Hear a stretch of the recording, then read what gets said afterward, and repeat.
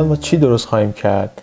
یه چیزی مثل این درست خواهیم کرد که وقتی ما موس رو می‌بریم روش رنگش همینجوری عوض بشه به مثلا این رنگا برسه. حالا هر رنگی شما دلتون خواست و وقتی این موس رو از روش میاریم بیرون این استاپ شه پاس شه. که این یه درس جدیدیه که به شما خواهم داد. الان اگه من ریفرش رو بزنم هیچ اتفاقی نمیفته. این دگمه هیچی نیست. این چیزی که شما داشتید می‌دید تمام شده ای کار هست. این لینک هم به جایی ما رو نمی‌بره.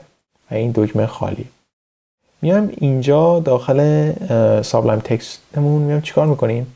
دو تا button داریم که یه لینک هست یکم چیز هستش. button ما هستش.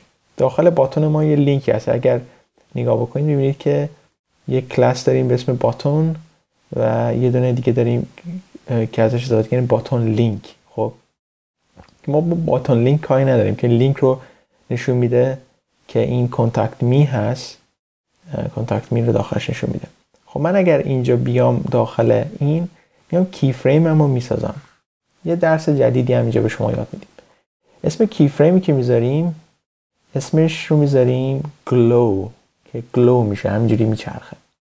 داخل این از چند تا پراپرتی درست می‌کنم؟ از 0 درصد 25 درصد 50 درصد یا می‌خوایم یه کار دیگه بکنیم. میگیم از 0 درصد.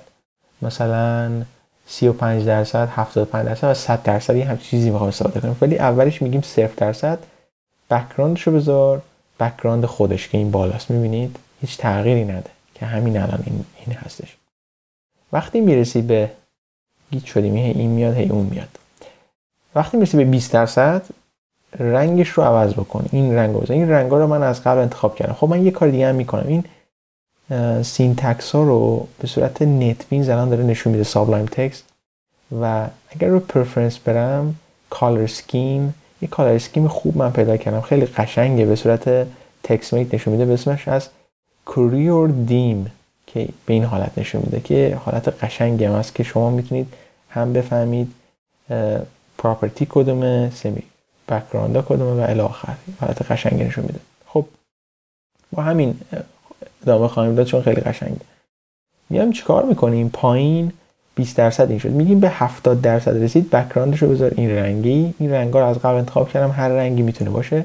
100 درصد هم این رنگی خب این glow ساخته شد. این برای Google Chrome میام این رو کپی می‌کنیم و paste می‌کنیم واسه موزیلا اپرا و آخری هم این رو paste می‌کنیم. این keyframe ما ساخته شد. حالا چجوری ازش استفاده بکنیم؟ میریم داخل button مون اینجا. میگیم webkit animation اسمش چیه؟ glow خب. و بعد چند ثانیه؟ میگیم سه ثانیه. timing function ش رو میگیم ease و infinite یعنی به همینجوری الی آخر به ما نشون بده و alternate باشه. Alternate یعنی چی؟ چرا alternate من گذاشتم؟ Alternate گذاشتم برای اینکه وقتی که من الان این رو ببینید refresh می‌کنم خودش میچرخه. می‌بینید؟ و این alternate یعنی همینجوری برو به سمت برگرد به حالت اول. حالا من alternate reverse می‌زدم. ببینید یه دفعه یه کار رنگش دیدید یه دفعه یه دفعه برمیگرده نگاه کنید. اینجا اینجا. یه دفعه برمیگرده. خب با این کار اگه خواست بخواید درست بکنید بذارید اولترنیت به جای اولترنیت می‌تونید بذارید بعد از این می‌تونید بکورد هم بذارید. یا مثلا بذارید بوث خب ولی بوت رو اینجا می‌بینید چون جواب نمیده. قبل می‌ذارید چون من اوردرش رو یادم نیست. خب اگر دیدید اینجوری داره syntax error میده به شما باید بیاید پایین چیکار بکنید؟ webkit animation مثلا fill mode رو بذارید both خب من اینجا نمی‌خوام بذارم. می‌خوام چون که یه کار دیگه انجام بدم. کاری که من می‌خوام انجام بدم اینه که این همینجوری نچرخه. وقتی من موس رو می‌برم روش میچرخه رنگش عوض بشه. خب این برای اینکه stop شه همینجوری نچرخه کاری که ما اینجا می‌کنیم اینه که خوب توجه بکنید. اینو بردارم. اینجا. webkit animation play state خیلی مهمه. animation play state play state دو تا داریم. یکی به اسم running که الان هست داره run میشه. یکی هم به اسم paused البته اینجوری می نویسن paused اینجوری می نویسن خب ما اینجا می‌خوام چیکار بکنیم؟ استاپش بکنیم. پازد البته پازد اینجوری می نوشتم من با اس نوشتم. پازد P A U S E D. پاز یعنی چی؟ یعنی استاپش بکنید نگاه بکنید مثلا برگردم اینجا. ریفرش می‌بینید استاپ می‌کنه هیچ کاری نمی‌کنه خب این فانی نداره. من چجوری اینو فعالش بکنم؟ خب من میام اینجا یه قانون دیگه درست می‌کنم. میگم باتون دو نقطه hover البته اینا رو همه رو paste می‌کنم که مال browser های دیگه هست. که الان اینا همش اینا یکیه که این میشه مثلا مال Google Chrome و موزیلا اوپرا. خب این پایین میگم چیکار بکن؟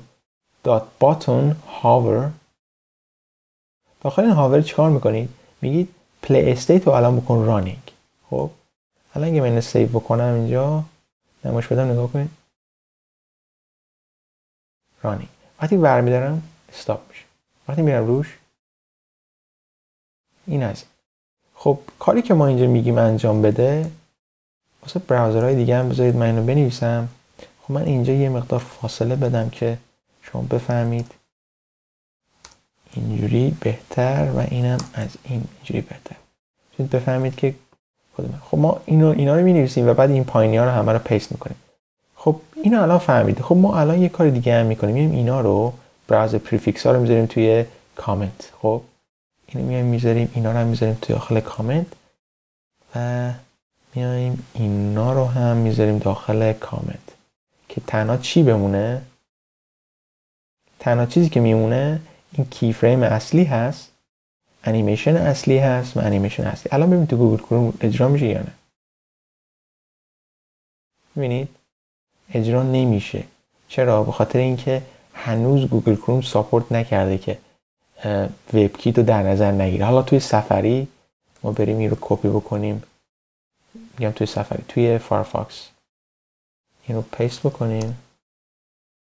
Firefox هم نمی‌ذاره. به خاطر اینکه ما باید چیکار بکنیم؟ browser prefix ها رو بهش add بکنیم که چیه؟